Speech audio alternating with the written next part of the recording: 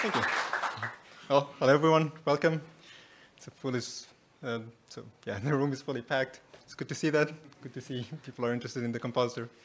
So yeah, let's get started. Um, yeah, my name's Habib. I'm a contributor to Blender. I've been doing it as a volunteer for a while now. And today I'll be talking about how the compositor has been completely redesigned.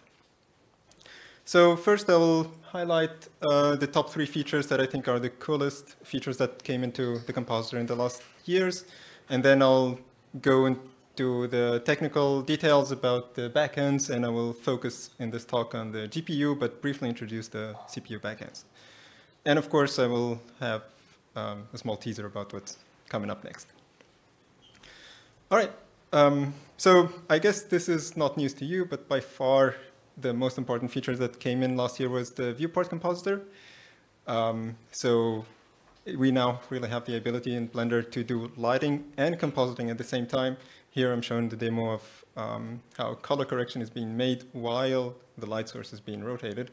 Uh, something really unique and really, really cool. And it's been improving ever since. Um, the second cool feature I would like to highlight, this is very recent, this will be in uh, the latest uh, Blender version, uh, which is the multi-pass compositing. Um, basically, this is um, this will allow us to do uh, more cool effects like the, the roughening of the edges here, even if the edges are on a uh, non-flat surface and even if the camera is uh, rotating. Um, yeah, that's the before and after, and that's pretty cool stuff. Um, the last feature I wanted to highlight is the new CPU backend, which is uh, much, much faster. So in for uh, 0.2 LTS, we're up to 10 times faster, so 3 to 10 times faster for complex uh, filters, uh, which is thanks to um, a new completely, uh, yeah, CPU backend. So yeah, having said that, like these are the cool features, now let's, let's call to, go to the uh, backends, like the, the technical details now. And for that, I would like to first introduce the code structure, how we structure Blender now. Um, so at the very top, we have the compositor node tree. This is what users see, basically the graph.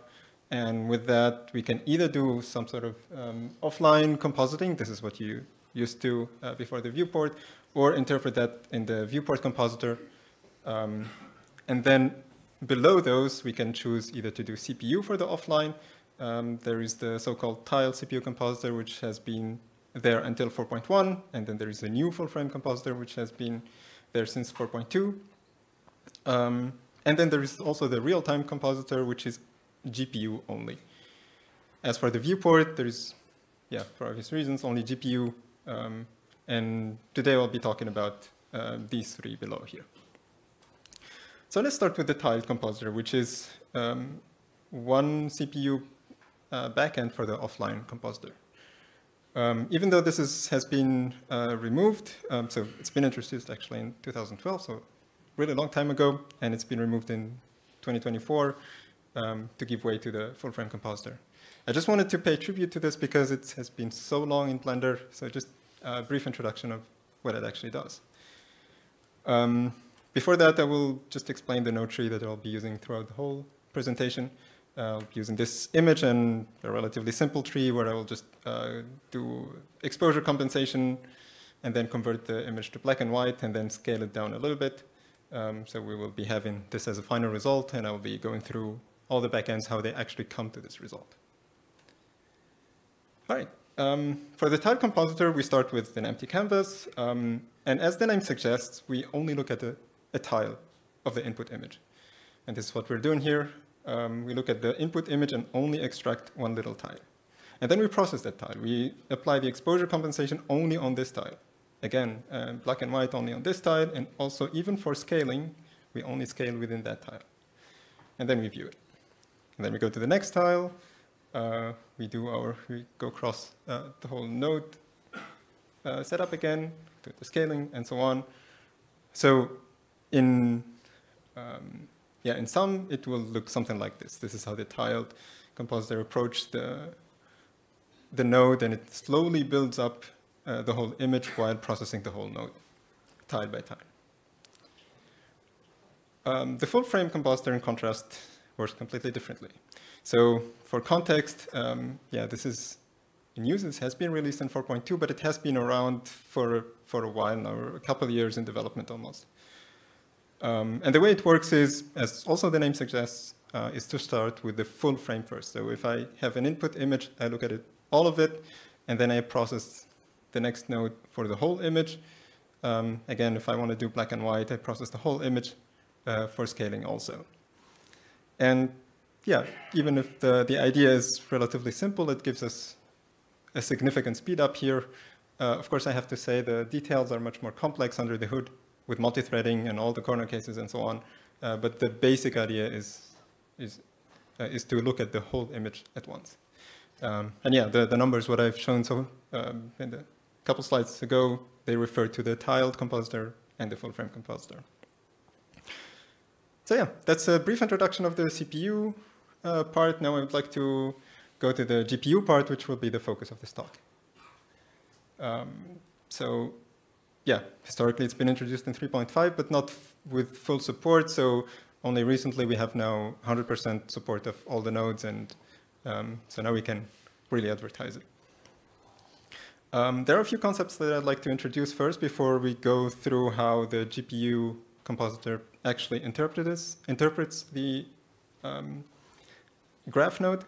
Um, most importantly, the, the, the domain size, um, this evaluation of schedule and compiling, but also the cache manager.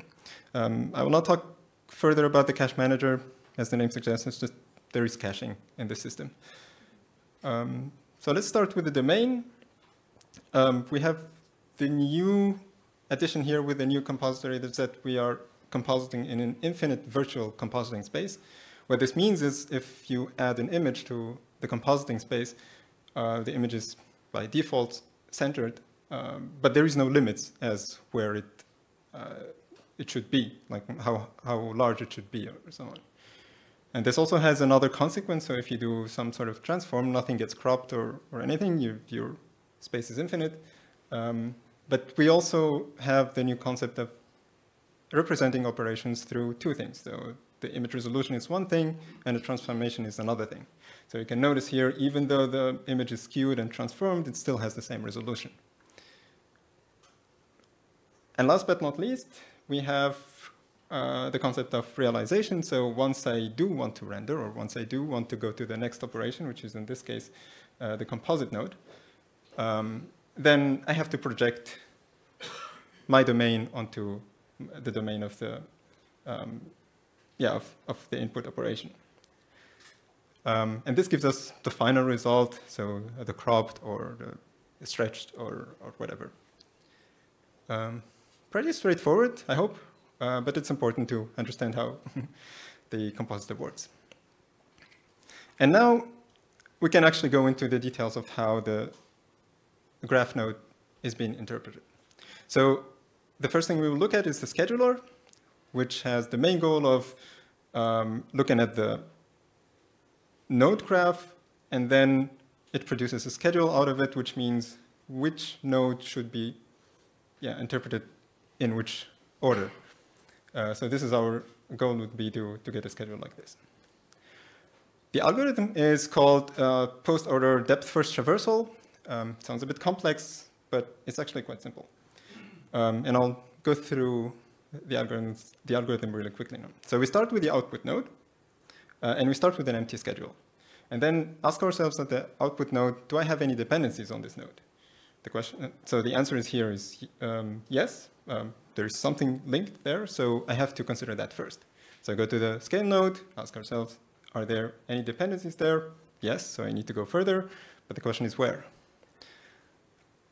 And um, the goal here in the next step is to minimize the amount of intermediate buffers with the idea that if all buffers are roughly the same size, then, and I minimize the amount of intermediate buffers, then I will minimize the peak memory while I'm uh, executing my graph node.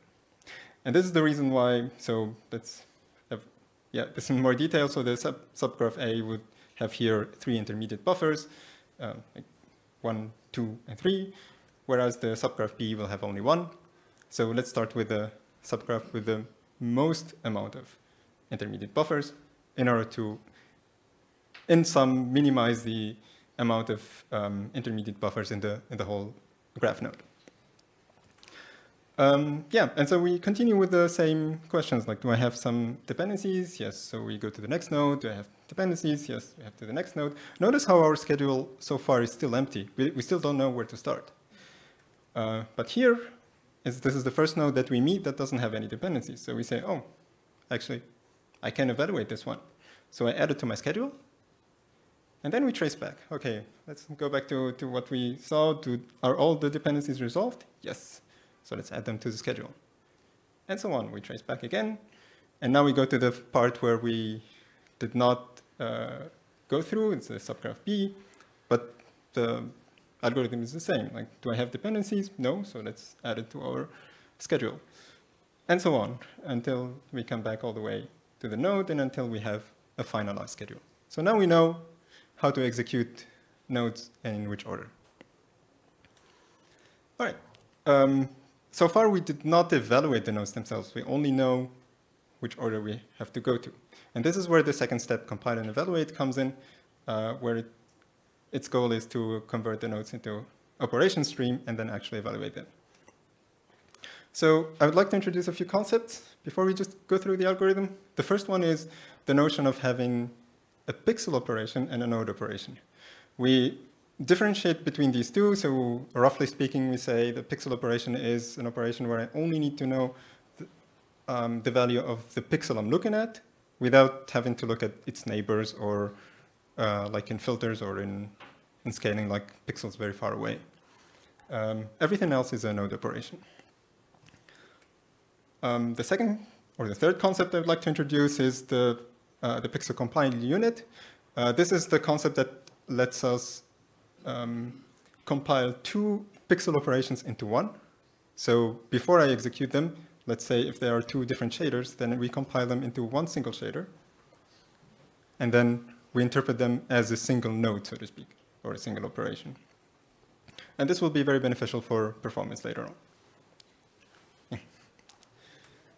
Um, so yeah, now that we have the concepts in mind, let's look at the actual algorithm. And um, since we have the schedule, we know where to start. So let's look at the, the first node and ask ourselves, is this a pixel node? Well, by definition, the image node is not. Um, so let's evaluate it right away and get the, the image out of the input image. Um, same for the exposure node. Is this a pixel node? By definition, actually, yes. So we add it to the compile unit. Notice how we did not evaluate it yet. And now we go to, to the next node, to the RGB, to black and white, and also ask the same question, is this a pixel node, yes. Now we just need to ask one more question. Is it compatible with our compile unit, with what we added so far? Um, it can, it may or may not be compatible depending on the its domain, what I introduced a couple slides ago. So if they really have the same domain, they, um, yeah, the definition will apply, will hold true, and I will only need to know one, the position of the pixel that I'm looking at, um, and not the neighbors. So in this case, it is compatible, so I will add it to my compile unit.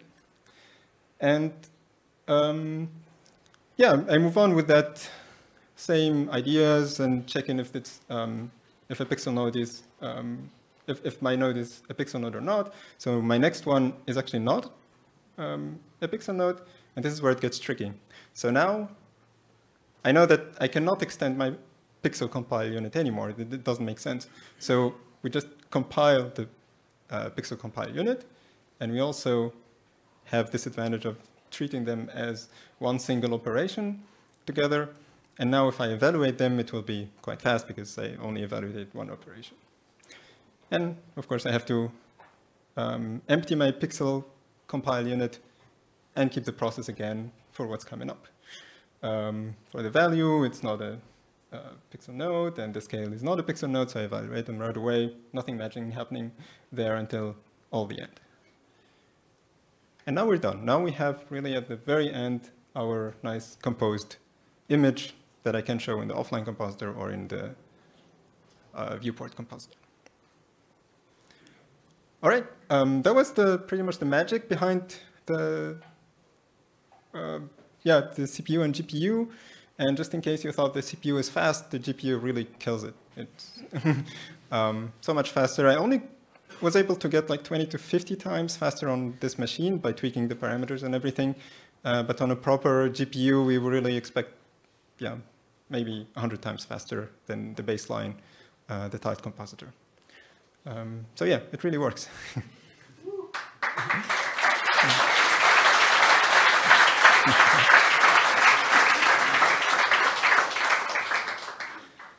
okay. Um, yeah, we're almost done. So for the future plans, um, there's a few things I would like to tease up. Um, first of all, the code that will change quite significantly. We are trying to move from this fairly complicated node structure or code structure to a very simple and unified one. So uh, we will have the real-time compositor, which was here and here as the single backend that will treat the compositor node. Um, and um, currently we only support the GPU, so the idea is to have a CPU backend for the real-time compositor, and then we can unify uh, all the all the code. Um, and then we will rename it compositor because there is no difference between real-time or offline. Um, this will give us a few advantages. Um, the obvious one is that we will be sharing code since reducing the, the complexity. Uh, but the more important one for um, users maybe is we will have the ability to share assets, um, especially between the shader and the compositor. So if you have a texture in your shader editor, you'll be able to use it in the uh, compositor, like something, a complex noise texture that you made. Um, you'll be able to reuse it or some math nodes as well. And we actually expect even faster CPU uh, execution time. Uh, Jacques talked a little bit yesterday about this in his uh, geometry nodes talk. Um, I'm not covering it, but um, it will be faster. That's all I want you to know. um, there is also a big plans for the UI and usability. Um, so for the short term, at least, uh, we're planning to improve the gizmos with the idea that you know gizmos are more intuitive than actually you know tweaking parameters. Um, so we're working on um, making masks going through uh, going towards uh, gizmos and not parameters anymore. Um, there is also the concept of um, being able to select favorites or favorite nodes so that you can view uh, nodes very fast. Um, I have to admit I was hoping to get this done, you know, before the conference, but it will be uh, done very soon, so hopefully for the next uh, release. And last but not least, um, yeah, I wanted to announce that I will be joining Blender full-time uh, starting next year. So,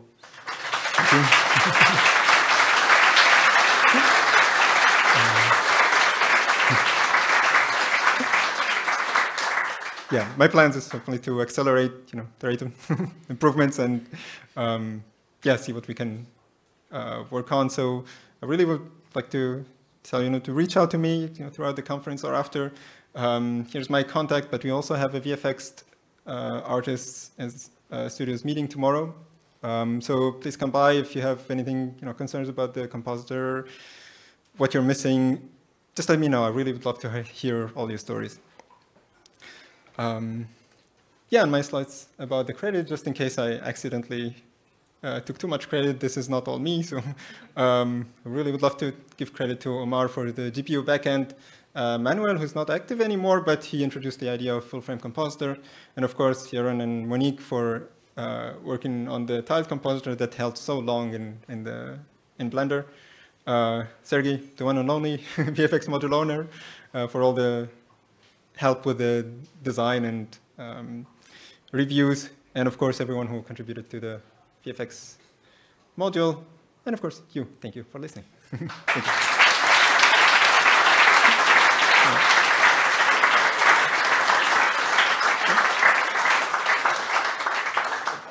We might have time for one question, right? Yeah, sure.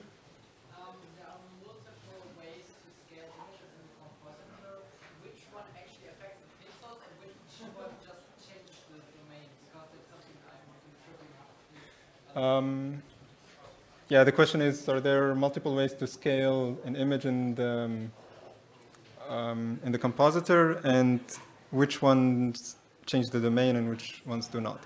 So in the CPU backend, we had um, um, more or less a limited, um, yeah, a limited canvas size. So if you scale too much and then scale down again, you might lose some information. Um, the idea with the infinite domain size is it doesn't matter. So from a user's perspective, the node will be treated one after the other. So if um, you will not lose information and it doesn't matter. Right now, there is a small difference between the CPU and the GPU, as I mentioned, but uh, there will be no types of scales or uh, they all do, um, just looking for um, the slide where I mentioned, you know, trans yeah, um, a transformation is, is represented by its um, image resolution and, and transformation, so no information is getting lost. All right, I think that's pretty much it. Thank you very much, everyone.